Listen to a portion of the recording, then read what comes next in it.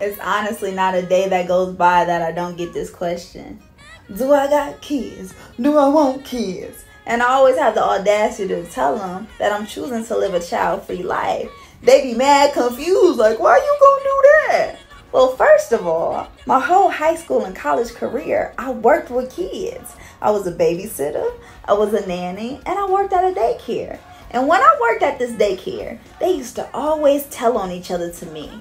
Miss Tera, mommy kicked daddy out again. Miss Tera, I got a booger in my nose. Miss Tera, Billy stole my crayon. And I had to tell one of them one day, hey, snitches get stitches over here. You gotta stop snitching and stand up for yourself because I'm not gonna be around you 24 7. Needless to say, the snitch snitched on me and I got fired. But that made me realize I'm just too gangster for the kids.